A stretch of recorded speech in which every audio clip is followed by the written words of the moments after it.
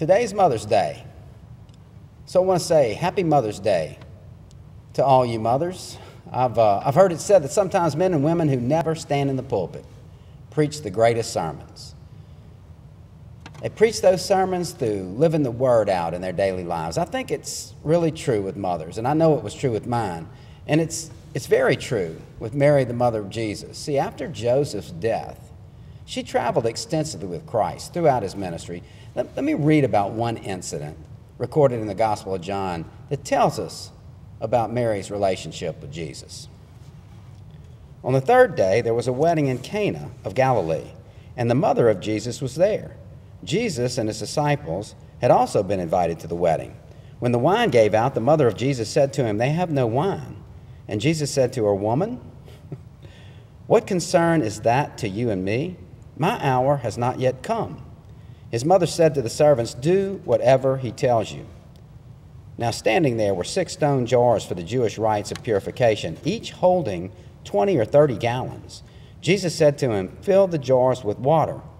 And they filled them to the brim. He said to them, Now draw some out and take it to the chief steward. And they took it.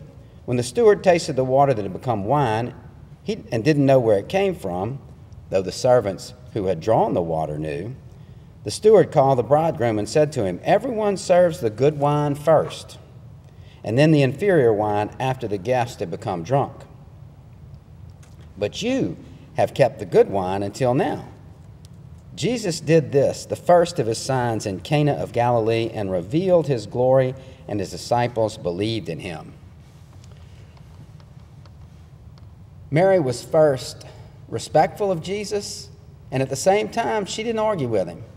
She said to the servants, Do whatever he tells you. And I'm, I'm not, he's, he's, it's like she's saying, I'm not going to argue with you, son. You know, there's a special relationship because of the mother she's been to him. Jesus shows her his respect for her and her wishes because it seems like he really doesn't want to get involved here. He says, My time has not yet come, but he does what his mother asked him to do. She's aware of his abilities. You know, mothers know what you're capable of. My mother would always tell me, Tommy, you can do that. You're good at that. Even when I wasn't, my mama believed in me. See, Mary pushes Jesus to a higher service. Mary pushes Jesus to begin what God is calling him to do. And Jesus, he kind of rebels. He says, Woman, what concern is that to you and to me? But then he complies to the wishes of his mother. In Mary, we see faithfulness until death. She was with him till the end at the cross, which was, which was really ultimately the beginning. And Jesus, from the agonizing torture of the cross, is still concerned about the welfare of his mother,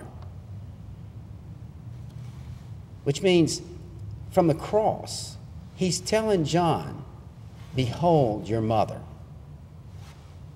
And what he's really saying to John at that time is take care of mama. Even in his death, he's planning for the future of his mother. His love for her was a direct reflection of the love she had shown him. And this is a story of not only a great mother, but of how we as children should treat our mothers. You know, some of us had great mothers, some of us had not so great mothers. But in Mary, we see what mom should be. Let's think about that this Mother's Day. Be grateful if you had a mother like Mary. And if you didn't, if you didn't have a mother like Mary, even if you don't have biological children of your own, you can be a mother figure to someone who needs it a, a grandchild, a niece, a nephew, a neighbor, or any child you may have contact with. Happy Mother's Day. Now, before I get started with the sermon, would y'all pray with me? Lord, let the words of my mouth and the meditations of all of our hearts be acceptable to you. You are our strength and Redeemer. This week we're, continue, we're going to continue, let me say that again. This week we're going to continue our sermon series, The Gospel According to. And if you're reading along, you would have read about the encounter that Jesus has with the woman caught in adultery. Let me read the passage for you. It comes from the eighth chapter of the Gospel of Matthew. It's the first through the 11th verses. The words are going to be on the screen for you. You can read along or you can read along in your own Bible. While Jesus went to the Mount of Olives early in the morning, he came again to the temple. All the people came to him and sat down and began to and he and, and began to teach them. The scribes and the Pharisees brought a woman who had been caught in adultery, and making her stand before all of them, they said to him, Teacher, this woman was caught in the very act of adultery. Now, in the law, Moses commanded us to stone such women. Now, what do you say? They said this to test him, so they might have some charge to bring against him. Jesus bent down, wrote with his finger in the ground. When they kept questioning him, he straightened up and said to them, Let anyone among you who is without sin be the first to cast a stone at her. And once again he bent down and wrote in the ground. When they had heard it, they went away, one by one, beginning with the elders. And Jesus was left alone with the woman standing before him. Jesus straightened up and said to her, Woman, where are they? Has no one condemned you? She said, No one, sir. And Jesus said, Neither do I condemn you. Go your way, and from now on, do not sin again. If anyone can tell you about grace, it's the woman Jesus encounters in this verse in John 8. It's an interesting, and let me tell you an interesting detail about this story. In most Bibles, you're going to find it in italics or with a footnote explaining that this is this particular passage may or may not have been written by John. It, it's found in a lot of the ancient manuscripts inserted here or elsewhere in John's gospel, but it's missing from, from the earliest manuscripts. From the oldest manuscripts, this story doesn't exist, which means that at some point, a scribe inserted the story into John's gospel while he was making copies. I, I, like to think that that even though there was no evidence of this, that it was probably one of the scribes who helped drag the anonymous woman from her bedroom. We may never know who penned this portion of Scripture. But I think the Holy Spirit set aside a special place in the Bible for it. Because in many ways, her story is our story. In, in this story, these teachers of the law had promoted themselves to keepers of the law. And the Pharisees appointed themselves prosecutors, and they turned to the temple courtyard into a temple courtroom. And together, they presented their case to Jesus, who they were, who they were hoping would play the role of the judge.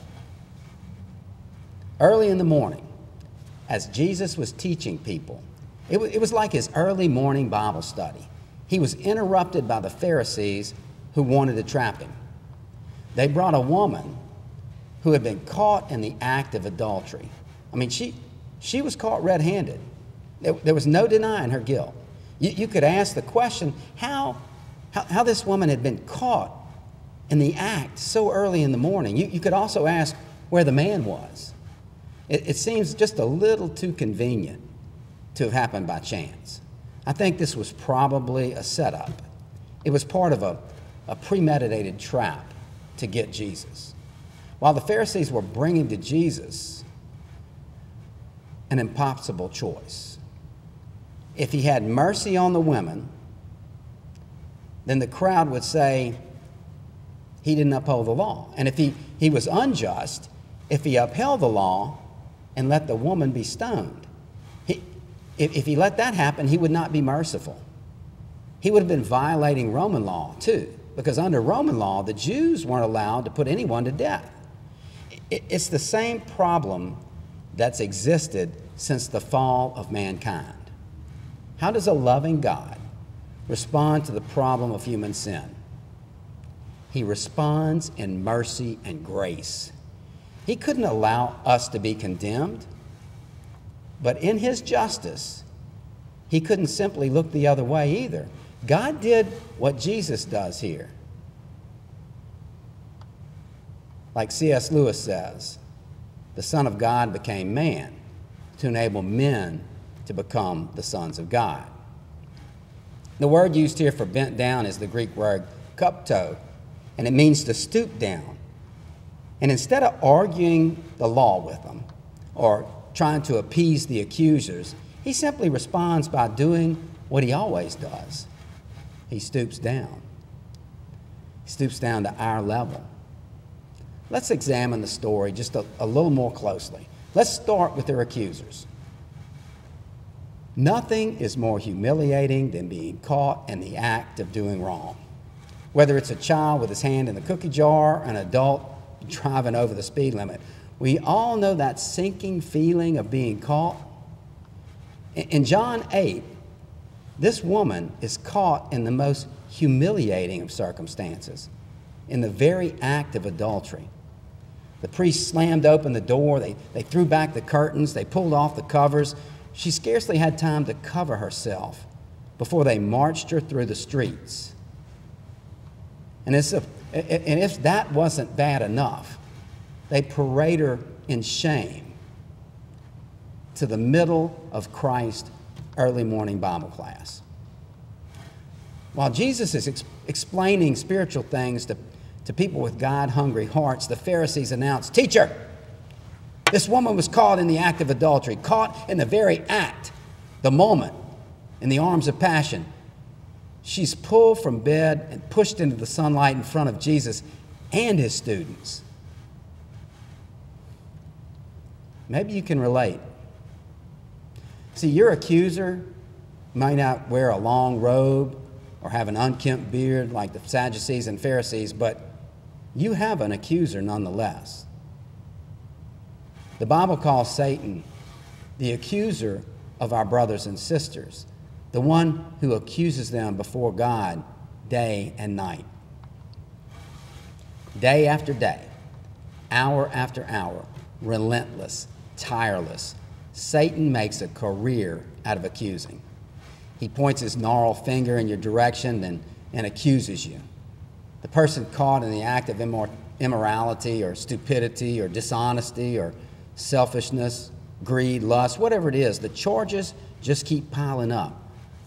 And the worst part about this is he's not wrong.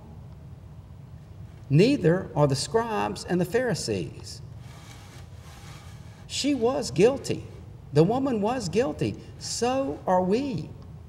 You know, I'm reminded of a scene that took place in San Diego at the Superior Court. There were two men that were on trial for armed robbery, and there was an eyewitness that, that had taken the stand, and the prosecutor started asking her questions. He says, so, so you say you were at the scene when the robbery took place? She said, Yes. And, and you saw the vehicle leave at a high rate of speed? Yes, yes, I did. And did you observe the occupants? She said, Yes, yes, two men. And then the prosecutor turned away from her and turned toward the people being accused of the crime. And he asked loudly, Are these two men present in the courtroom today? And thinking that the question was directed at them, the two accused of the crime raised their hands like you do in school. Present and it sealed their fate. Now, that might seem stupid, but we might as well do the same thing. We're guilty. We know it. Satan knows it. God knows it. We might as well raise our hand and admit it. The scantily clad woman in the midst of the crowd was in the same boat. She was guilty, and her accusers made sure everyone knew it. Fortunately, they didn't have the last word because Jesus stepped down from the judge's bench and he stoops down to become her advocate. Her advocate. You know, the Bible reveals motives behind this drama when it says they were trying to trap him into saying something they could use against him. John 8 6 says this It was true that the Old Testament commands the Jews to stone an adulterer, but Jesus refused to play their game. In fact, he ignored them. The, the Bible says Jesus stooped down and wrote in the dust with his finger. What on earth was he writing? Wouldn't we like to know? You know, I've heard a lot of theories about what he was writing in the dust, and I'm going to come back to that in just a minute. The, the, the self appointed prosecutors didn't like being snubbed, so they kept demanding a verdict. And finally, the Bible says Jesus stood up and he said, All right, but let the one of you who has never sinned throw the first stone. Suddenly, the accusers fell silent, and the scornful, self righteous attitudes softened, and their grips on the stones loosened, and the silence was broken by the dull thud of dozens of stones fall into the ground. See, bullies are all alike, regardless of what century you're in. If you stand up to them, they'll typically back down. That's what Jesus did for this woman. He stood up until his shoulders were straight and his head was high. He stood up for her. He does the same thing for you and for me. The Bible announces the one who died for us, who was raised to life for us, is in the presence of God this very moment, sticking up for us. Let that sink in for a moment. In the presence of God, in defiance of Satan, Jesus Christ rises to your defense. Christ offers unending intercession on your behalf, whether you deserve it or not. Jesus knows you're guilty. You stand before him just as naked as she did. He sees your dishonesty, adultery, angry outbursts, hypocrisy, pornography. He sees it all, but he sticks up for you anyway. Like this woman, we all stand accused before God, and like her, we're guilty. But before the sentence could be handed down, Jesus stood up and stepped in. And that brings us to the last part of her story her acquittal. One by one, the Pharisees slipped away until Jesus was left alone in the middle of the crowd with this woman. That's when we, we, we witnessed this sweet exchange. Jesus straightened up and said, Woman, where are they? Has no one condemned you? She said, No one, sir. And Jesus said, Neither do I condemn you. Go your way, and from now on, do not sin again. Ironically, Jesus said, Let the one who has never sinned throw the first stone. That narrowed the potential executioners to one. As God in the flesh, Jesus was the only one qualified to pass judgment but he refused to do it. I don't think that makes Jesus soft on sin, but I do think it makes him big on grace. Earlier this week, I read the story of a youngster who was shooting rocks with his sling slingshot. He, he never could hit his target. And as he returned to Grandma's backyard, he spied her pet duck. And on impulse, he took aim at the duck and let the stone fly, and the stone hit the duck, and the duck died. The boy panicked, and he hid the bird in the woodpile, only to look up to see his sister Sally watching him. So after lunch that day, Grandma told Sally to wash the dishes. And Sally responded, You know, Johnny told me he wanted to help in the kitchen today. Didn't you, Johnny? And then she whispered to him, Remember the duck. So Johnny did the dishes. I mean, what choices he had? For, for, for several weeks, he was standing at the sink. Sometimes it was his duty, sometimes it was Sally's, because when it was Sally's time, she would always say, Remember the duck. Finally, Johnny got sick of doing Sally's work. He finally decided that any punishment would be better than washing dishes all the time. So he confessed to killing the duck to his grandmother. I know Johnny, the grandmother said, giving me a hug. I was standing at the window and saw the whole thing. I love you. I've already forgiven you. I was just wondering how long you were going to let Sally make a slave out of you. He'd been pardoned, but thought he was guilty. Why? Because he listened to the words of his accuser.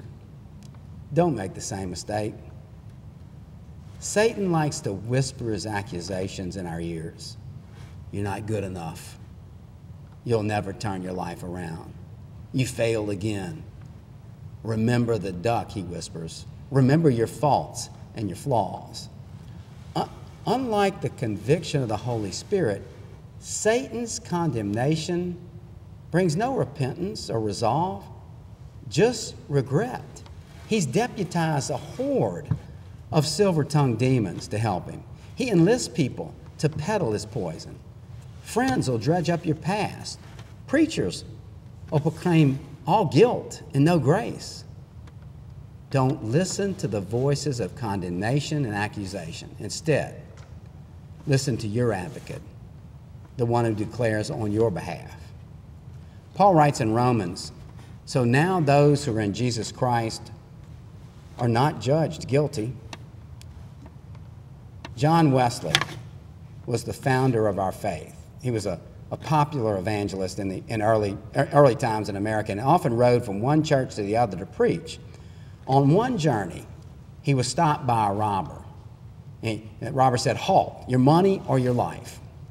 And Wesley says he got down from his horse, he emptied his pockets to reveal only a, a handful of coins. He invited the robber to search his saddlebags, which only carried his books. In disgust, the thief turned around and got ready to leave. And, and Wesley said, Stop. I have something more to give you. And the robber was puzzled. He turned back, and Wesley leaned toward him and said, My friend, one day you may live to regret the sort of life in which you're engaged. If you do, I beg you to remember this the blood of Jesus Christ, God's Son, cleanses us from all sin. Wesley said the robber hurried away silently, and Wesley got back on his horse and, and rode on his way, praying in his heart that the words he said to him might be fixed in the robber's conscience. Years later, at the close of a Sunday service, that stranger stepped forward and begged to speak with John Wesley. Wesley recognized him. It was the robber who had stolen from him. But now he was a well to do tradesman, and better still, he was a child of God. He grabbed Wesley's hand and he kissed it. He said, To you, dear sir, I owe it all. And Wesley replied softly, No, no, my friend, not to me, but to the precious blood of Jesus Christ, which cleanses us all from sin. Now, I told you, I wanted to get back to what Jesus was writing in the dirt, getting back to the words Jesus scribbled with his finger. Like I said, I've, I've heard lots of theories. You probably have too he was writing the sins of her accusers, or he was writing the names of others that had been with her, or, or maybe he was writing a pertinent scripture. Let me share one of the ideas that I'm particularly fond of. In his book entitled Grace, Max Lucado writes this when a few moments, within a few moments, the courtyard was empty. It was just Jesus and the woman. Her critics, they all left. it was just her and Jesus. So imagine the scene. But let's, let's linger a little while there. Look at the rocks on the ground, abandoned and unused. And look at the scribbling in the dust. It's the only sermon Jesus ever wrote. Even though we don't know the words, I'm wondering if it read like this Grace happened here.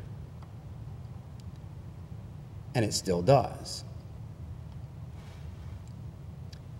Only God knows what happened to the woman caught in adultery, but I am certain that her life was changed. How, how could it not be?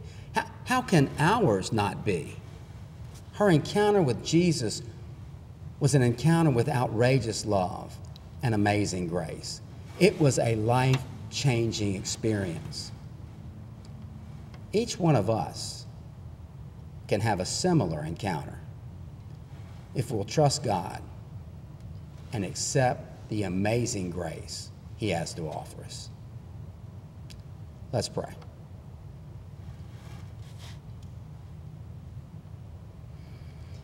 Father in heaven,